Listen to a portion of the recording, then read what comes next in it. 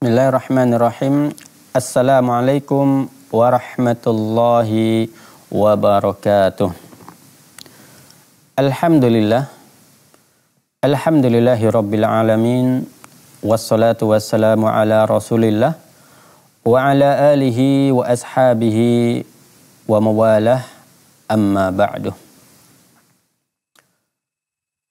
كمسلمين يدرحمتي علي الله سبحانه وتعالى Puji syukur kita senantiasa kita ucapkan kepada Allah Subhanahu wa taala karena Allah Subhanahu wa taala masih memberikan kepada kita kenikmatan-kenikmatan yang sangat banyak sekali sehingga kita tidak akan pernah bisa untuk menghitung nikmat Allah Subhanahu wa taala tersebut. Salawat dan salam senantiasa kita sampaikan kepada Nabi kita Nabi Muhammad sallallahu alaihi wasallam yang mana kita mengharapkan selalu mengharapkan syafaat ataupun pertolongan dari Nabi sallallahu alaihi wasallam nanti pada hari pada hari kiamat. Yang mana pada hari kiamat nanti tidak ada yang bisa memberikan syafaat ya ataupun tidak ada yang bisa membuka pintu surga ya kecuali dengan syafaat dari Nabi Muhammad sallallahu alaihi wasallam.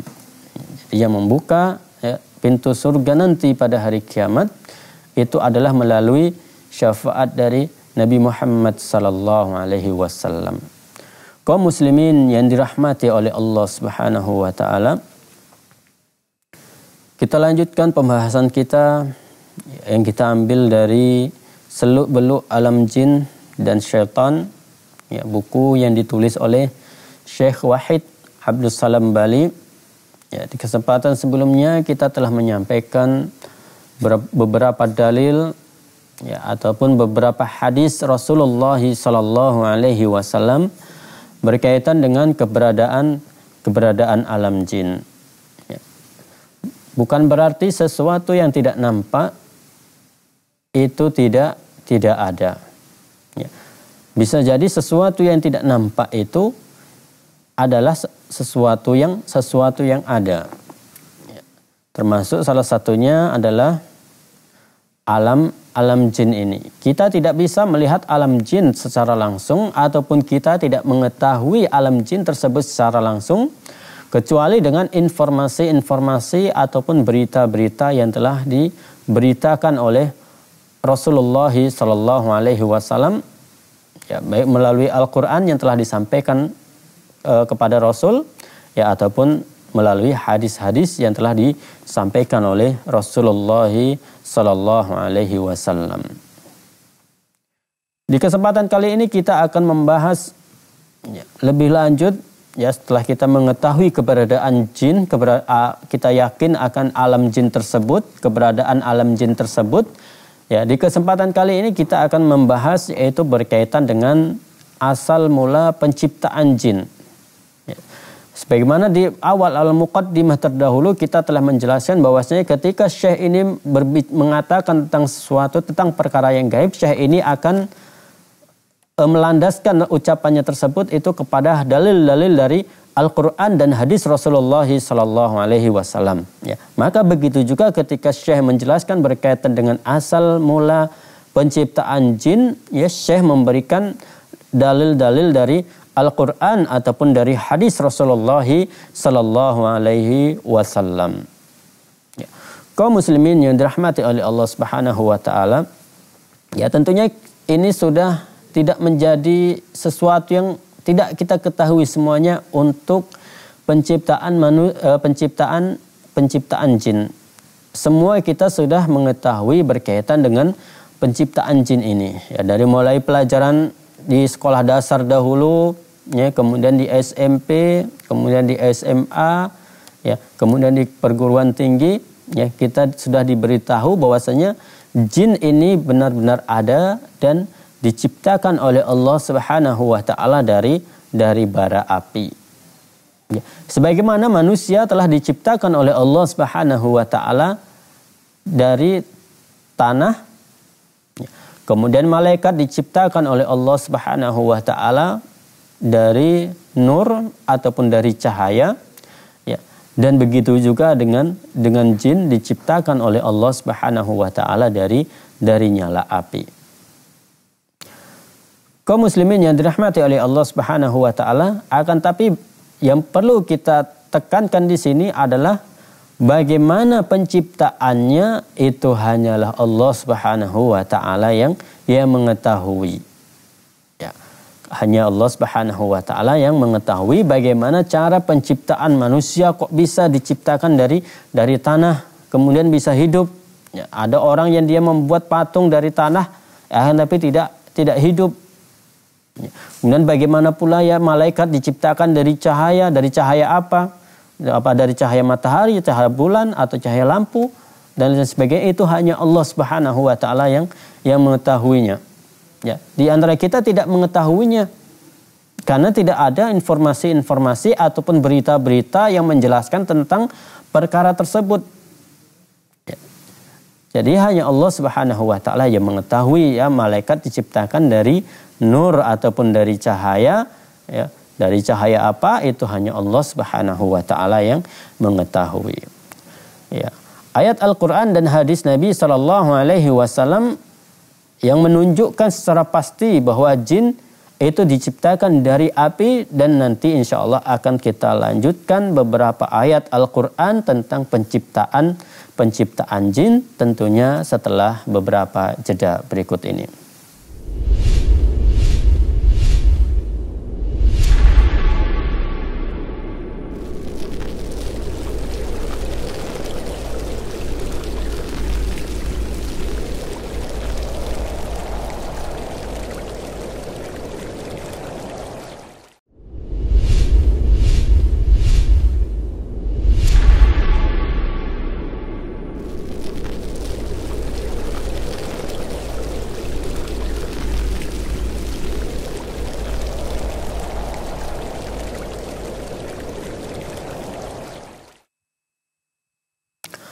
Allah Subhanahu wa taala telah berfirman dalam Al-Qur'an ya di dalam surah Ar-Rahman wa khalaqal janna mim marijim min nar. Ya, dialah yang menciptakan jin dari nyala api tanpa tanpa asap. Ya. Jadi di sini Allah Subhanahu wa taala memberikan informasi kepada kita bahwasanya jin itu diciptakan oleh Allah Subhanahu wa taala dari dari nyala api. Ya, nyala apinya tersebut itu tanpa tanpa asap. Ya, sebagaimana yang disebutkan dalam beberapa tafsir, ya. Kemudian Ibnu Abbas juga memberikan tafsiran berkaitan dengan ayat tadi yaitu yang dimaksud adalah nyala nyala api.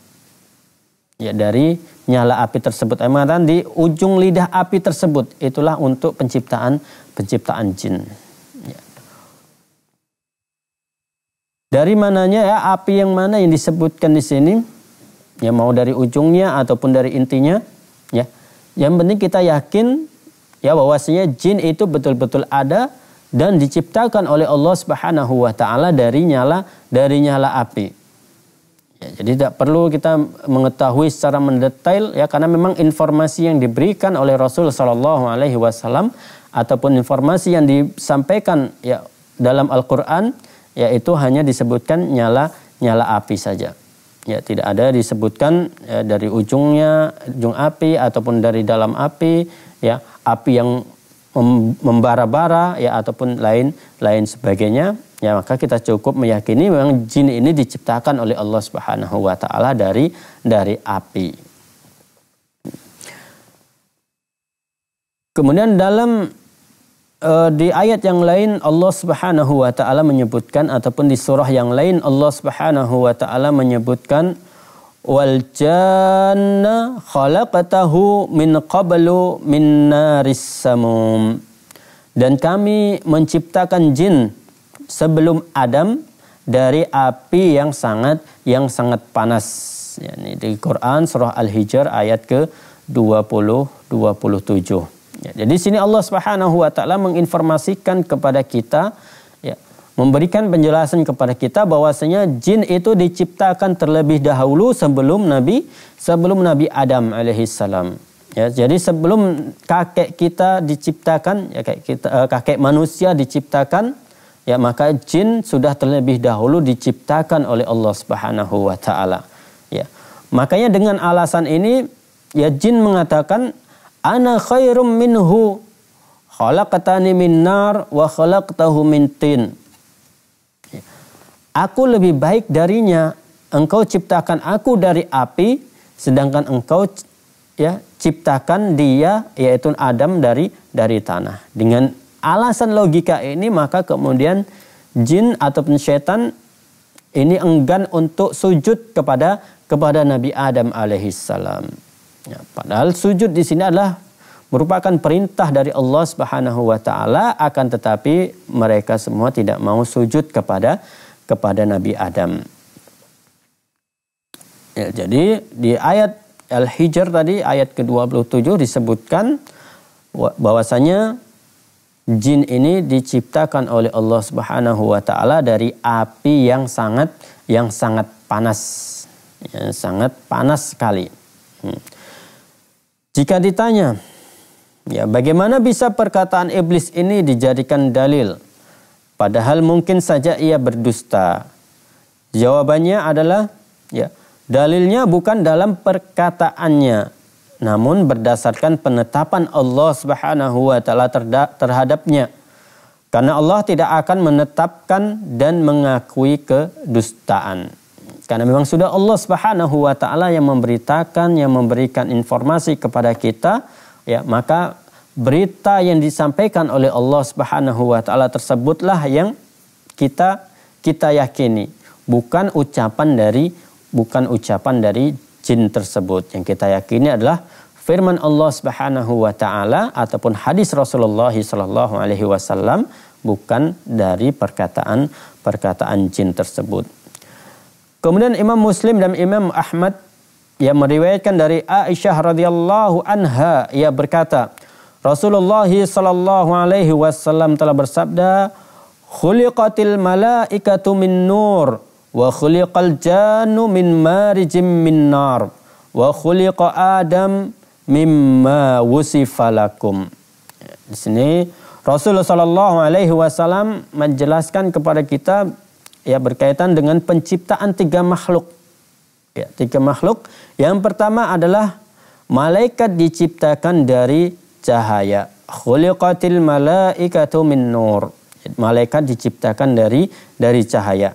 Kemudian makhluk yang kedua yang disebutkan oleh Nabi Shallallahu Alaihi Wasallam ya adalah wa khuliqal janu mimma rijim minnar. Ya. Dan ya sedangkan jin diciptakan dari nyala api tanpa tanpa asap.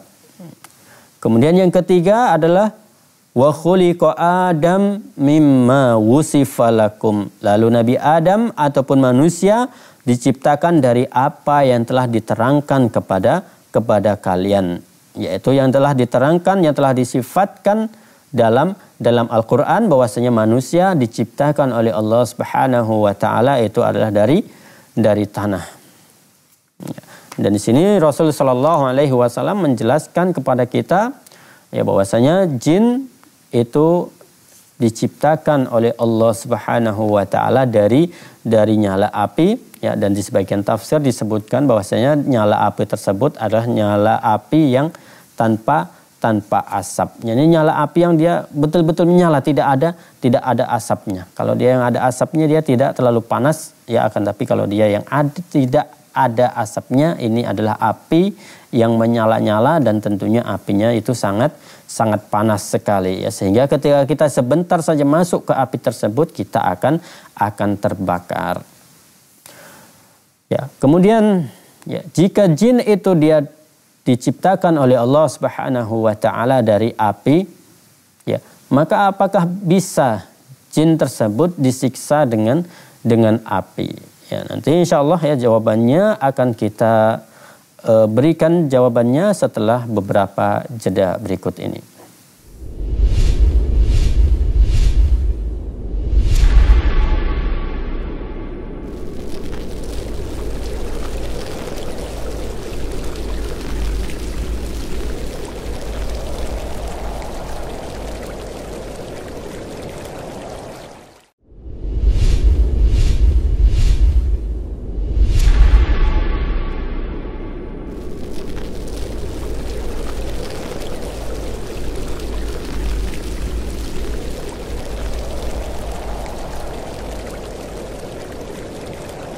Kaum muslimin yang dirahmati oleh Allah Subhanahu wa taala, ya, apakah jin itu bisa ya disiksa dengan dengan api?